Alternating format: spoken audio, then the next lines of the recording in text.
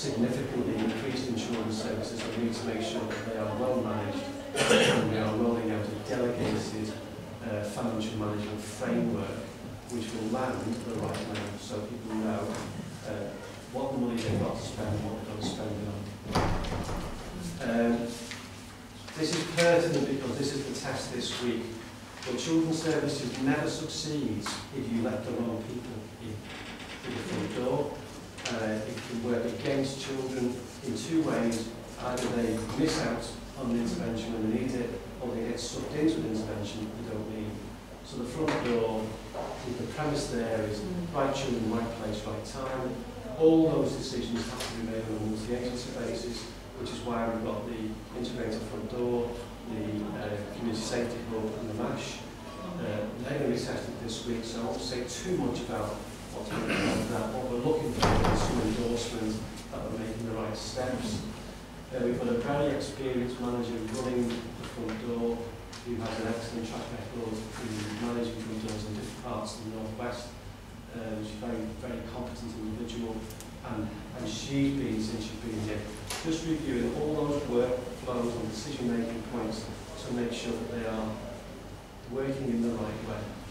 Um, as well as testing them out by looking at individual cases. So we dip every Monday a cross-section of work that's gone through the front door the previous week just to stand back and say, did we get that right?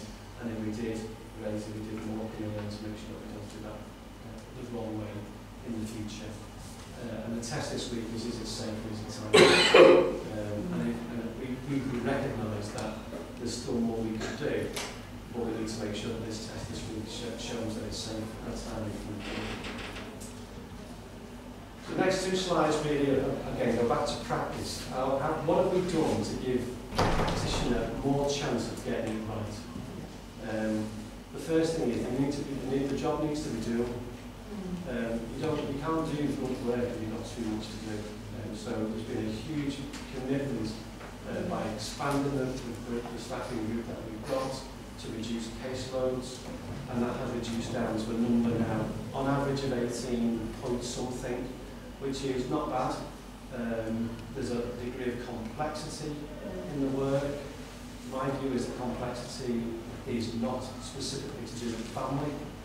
I think it's to do with the way in which agencies haven't worked well together to provide interventions at the right time for children, so therefore when they come through to social care, they are almost relatively complex and more difficult to sort. But I think they're both appropriate, case those appropriate and non-manageable.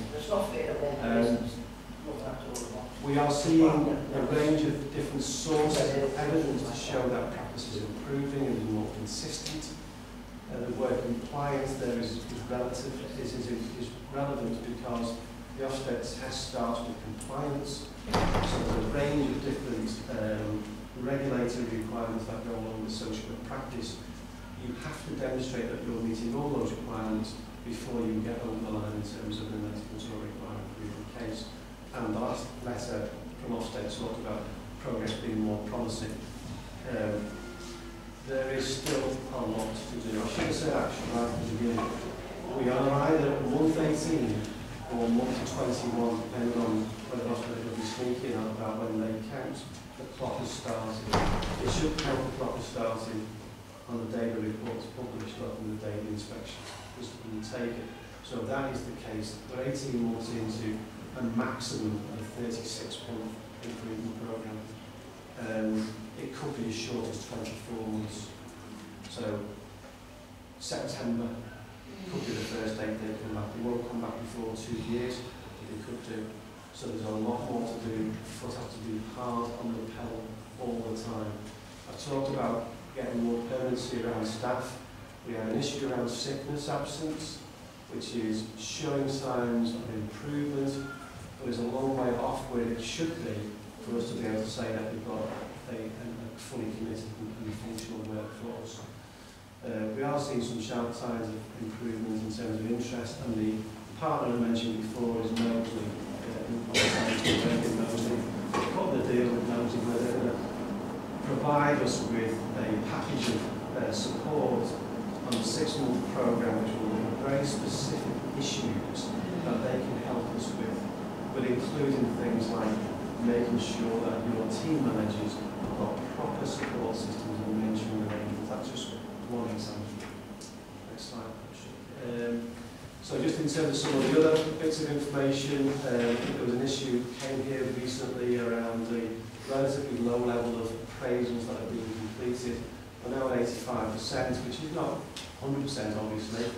uh, but it's a lot, lot better. And some of the gap is around agency workers who are just sort of, you know, not going to stay very long, so why would we, we do that, really? Uh, we can now say that supervision of practice is taking place, the, the, so process is in place, the, the acid test is, is it any good? Uh, and the, the quality test is really about providing time for reflection on your practice. Um, we've got the rollout of agile working starts today. Um, so this is about, the two elements of this. One is about giving people IT equipment that enables them to work in a mobile way. Um, and the smartness of the kit really is, is, and it's a very, very good piece of kit from, from stuff I've seen in the past. It opens up huge opportunities for you to engage better with children because they're used to using technology there's all kinds of different interfaces you can use in, involving, you know, kids drawing their own stuff, doing little video clips, doing the accounts of their lives, which can be stored on their records. And the second element of it is uh, co-locating, at least at this point, the social workers into one room, uh, one building, Cheshire Lines. And there's a real compelling reason to do this, because the variation in practice is partly to do with the location of people work, Generally, we get better practice from Pensby, slightly moderate practice from Wallasey, and the weakest link has, has been Birkenhead. And I, I, feel for them, I feel for the practitioners, actually, because they're working out of offices that are rather like working in rabbit holes. Doesn't produce a culture of sharing responsibility and support. So the, the second element of the agile work is we incrementally move the social work teams into Cheshire Lines between, well, again, the first day was today, but we will start to kick in back end of March, with the completion date being sort of end of May, beginning maybe middle of June, um, which will coincide with the rollout of Agile work. So then you'll have a touch base with the management function, the university function, children's services in one room, one place, brilliant room by the way, loved it today, and also the ability for practitioners to work where children are at the time when children need to be seen. It won't been confined to office, office hours. There's a piece of work that is only just getting underway, which is the Liquid Logic is the electronic record system that is used for recording not just social work interventions, but early health interventions as well. And there's a, a lot of development work needing to be done to make sure that we're utilising the capability of this system uh, to, its, to its maximum, and we haven't been doing that. Um, so you, the best way to do that is actually to use the practice improvement group as the test bed for improving uh, functionality in the system. And once you get rid of all the glitches, uh, you don't see social workers or practitioners uh, attached to computers all day long trying to make the thing work. Um, supporting families enhancing futures is a framework for practice that is already out there. Um, when we get the basics right, this framework will be really powerful because it's based upon motivation interventions and responsive practice. Um, and they are well known to be good ways of, of working and engaging with families. Um, just very, very quickly, because I, I could rattle on about forever on this, we're also um, launching an edge of care service in April, uh, which has been a piece of work that's been underway for some time. Edge of care service is targeted at children who are coming into care could be diverted away from the care system safely if there was a proper support was provided family. That will help us drive down some of the numbers, but it's also get better outcomes from, from the edge of care, from an, an effective edge of care service. Same day, we're launching or relaunching our um, family group conference service, which again is a powerful tool for engaging families, uh, well, well evidence based, which has been underutilised in the borough as going front end uh, and be made available to more families rather than waiting for it to, to kick in when we go into court procedure, which is often too, too late. Um, we've got an integrated youth support service going live on the same day, end of April. Um, we've got financial management framework, as I mentioned earlier on, will be rolling out from June onwards to pick up this financial year. And then in September, we're going to relaunch the early help service which is a level three casework service to families who are currently leaking into social care, not getting very much, and bouncing back out again. We need to hold those families better, and we can use the um, the, the Strong Families Programme or the Children Families Programme with the earned autonomy to really push on that. So what I'm describing to you is a significant amount of change ongoing, with the acid test being, is this making a difference to children? And the message I'm giving you back is, we are seeing signs of that. Um, there is still a way to go, because unless every child gets the minimum standard practice, we will still not get on the line in terms of the Ofsted judgments. We're on the right track. Energy has to be at the forefront. Very quickly, I've already labelled this, so the two days this week, Ofsted are coming in and they're going to point down the um, front door and what we think.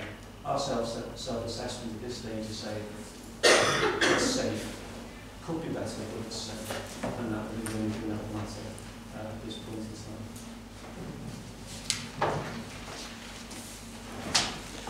Because of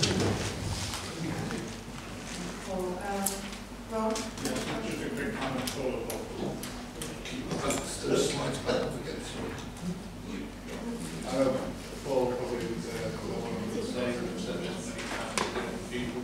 Um, what we haven't been doing, good at doing is, when you've got good practice, digital seven, eight, nine, around the rest of the council. We've got a real good office of good practice on this council. We don't utilise it to the, to the benefits of all. I think that's something we need to, to address. The starting point, I think, uh, what is the practice within the local authority, because there is some, some significant good practice going on. It's not all bad. Absolutely, There's yes. some, ende- some, there's some endemic bad stuff, but there's also really good uh, initiatives. and It's about utilising them better. because it's all to them. We don't have it in policy, we have it elsewhere, but uh, we also have it in Euston, we have it everywhere else where it's needed. So there's just these going on in isolation, and not being utilised and brought together. That's why that room's really important. The excuses is there. Yeah. And actually, there's good practice going on here, and there's bad practice going on here, and they're not talking to each other. So what's that about? Julie? Well, that was really um, clear because I don't normally sit on this committee, um, but you've certainly hit the ground running amongst us. Um, and I think the work culture, um, the improved work culture obviously going to set the scene for you forward. Um, I was just interested in what you said about sickness rates and whether there was a big difference between short-term sickness rates and long-term because that's obviously going to affect um, the rest of your staff team. Yeah. So 78% of our sickness is long-term. There's a, there's a relatively small number of people Yeah. who are uh, responsible for nearly all of the sickness. And we've got, I think, about half a dozen of those big conversations with about whether they're fit for work. That's the next question. Yeah. There's others who have got sort of periods of sick that are work related and there's a, there's a kind of downside to the, uh, in the ground running is that some people go off sick yeah. and they're being challenged so keep an, an, an eye on that and we're also looking at the patterns of the short term sickness to make sure that they don't fall into categories of a five week Monday, and sometimes a Wednesday I'm to work. But we talk, we talk a lot about this to our staff. The best way to combat sickness is to look after each other and talk to each other and make sure that if it's stressful work, you don't take your pain home with you because you will go mad. You, you do need an environment where you feel really about how difficult the job is. Um, so we are doing, there's a project around this, getting to grips with the different sickness different kinds of causes. There's a lot of people on this, it's not about me, there's a lot, of people pulling weight on this. Jack? Yeah, a, a number of points. Um, I'll try and keep them uh, as brief as possible. Uh, just say about an improvement, and, you know, I don't speak for everybody, but I certainly, and I know my colleagues, want you to be successful because fundamentally it's about the service that the youngsters receive.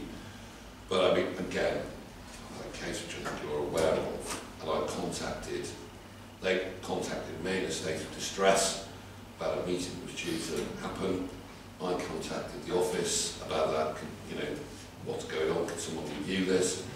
And they sent me a letter back the day after the meeting had taken place. I received it the day after the meeting was due to take place, which, you know, I don't know whether that was in reference to the individuals, to me, or whatever, but that, that didn't strike me as particularly good practice. Can we go to the that, that first slide? I think it was yeah, that one. That was it. Um, so clearly on that, the obverse is what the original problems were about. Yeah. So, you know, not having clear direction, so you put not in front of them. And this is a, this is on our list, on the list in the management of the audit letter as a, as a key failing of the authority. So, lots and lots of activity, and I, and, you know, the old spinning wheel, if you try and stop it to think how much change you're doing, you'll never get it started again. I understand that. Um, but in amongst all this change uh, that's going on, the, you know, um, and the innovations or the initiatives and all that sort of stuff, who is um, sticking to the knitting and getting the, the basics right, and making sure that the basics stay right so that governance of the service is well founded. So uh, the, the caravan doesn't move on, if you will. Who's making sure that the caravan won't move on? Because they are all sorts of things that are fairly fundamental and should have been there in the first place. So it's that. And the final point I've got is around agile working versus Cheshire Line. So I, and David will know, I think I lost count of the amount of IT refreshes um, that you know, children's or even adults have, have actually had in terms of kits and tablets and this and that and all that So, but you talked about agile working. I thought you were going to say, right, there's someone out there and they're being scheduled, or scheduled, I don't have a schedule, but they're out there visiting. And then you said, but we're sticking them all in Cheshire lines. So, what so how are you managing that interface between agile working and having everyone together so these really productive conversations can happen? Okay, I'll answer your questions in order. So Okay. I'm not saying that the practice that is there now isn't poor. There's some very poor practice going in the work. And I've been very struck by the number of complaints I get about uh, practice, some of are about the basics. That's why that's involved in about getting the basics right. Um, getting the basics right, I had a really interesting conversation at the staff workshop last week about what does that actually mean. And what it means is doing the right thing for children, following the rules and writing it down in a, in a legible and coherent way. And that the responsibility for that starts with the individual. Everybody who works in children's services is a professionally qualified practitioner. They have, I'm talking all the out they have a registered, they have a registered, um, they're part of a registered profession. That gets you one of them. That's got standards associated with it. So you do your job. What your line manager's there to do, which is the, the, the next, the first layer of management, the first line manager, is to make sure that you have the right support system to do that, but you also that it helps you count in practice. So you've got everybody who works at the front line is responsible for the basics right. The people who manage them are responsible for making sure that they're helping it right. And they are also responsible for their basics, which is often about authorising the work, providing direction and challenge, and, and then identifying risk issues that need to be escalated to a more senior manager for a decision-making point. So one of the slides I talked about clear lines and accountability. That's, that's how you get the grip and I use the word the grip on practice. If you start doing other things that aren't about practice, you won't get it right. You'll get distracted, and you'll probably um, confuse people. So we, we, I produced a slide last week which has been circulated separately today, which has got a definition of bookcase. It's not science. So put that on your desk and you test yourself every day. Have I got it right? Um, the agile working thing, um, so Cheshire Lines is not an office uh, or a place of work. Um, Cheshire Lines is a, place where you are um, attached to. So I, I, the best way of describing this is Cheshire Lines for me is where I would expect all managers to be most of the time and where the practitioners are able to access their managers when they need to access them. The kit gives them the flexibility to choose when and how to do that. One of our practitioners uh, last week was up in front of the audience, he's, a, he's a champion for the agile work, describing how he did a Skype conversation with his manager while he was out in the community. He got a bit stuck on something. He needed to check in with his manager, so he dialed in. Now, alternatively, he could have come into the office. That's what I mean by agile working, giving the practitioner choice about how do I get direction here. The other thing, which is a big theme that's come out from a lot of staff, is this need to feel that they belong to an organisation. Uh, agile working isn't about a bunch of independent practitioners going around the place and occasionally saying, oh, to each other, there's an expectation that, that, that the environment that we create is a touchstone that people can go back to when they choose